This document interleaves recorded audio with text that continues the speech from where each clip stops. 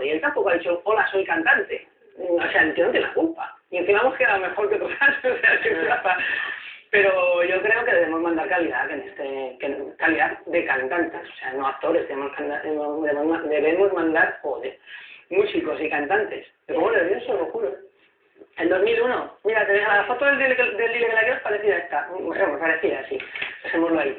El sí, ay, hablo muy rápido. Hablo muy rápido, no, te entiendes Yo bien. evolucioné el otro día y ¿Viste? ayer se acaba de enterar que eso también ha sido. Yo estuve con Dile que la quiero, con mi primer disco. Bueno, pero realmente preparamos un par de temas en el 2000, cuando estaba mi compañero Raúl con El sueño en su boca, preparamos un par de temas y recuerdo decir a un amigo mío, con toda la, con toda la buena intención, estoy encantado. recuerdo decirle, ¿eh?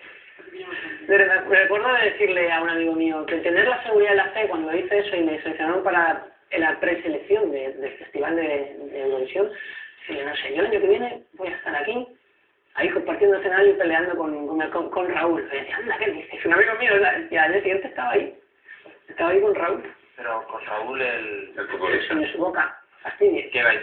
Que estaba entre los dos para ir a Eurovisión. No, él, él, él el año anterior se quedó en puertas de ir. Segundo se quedó. Y el año siguiente me presenté a una canción.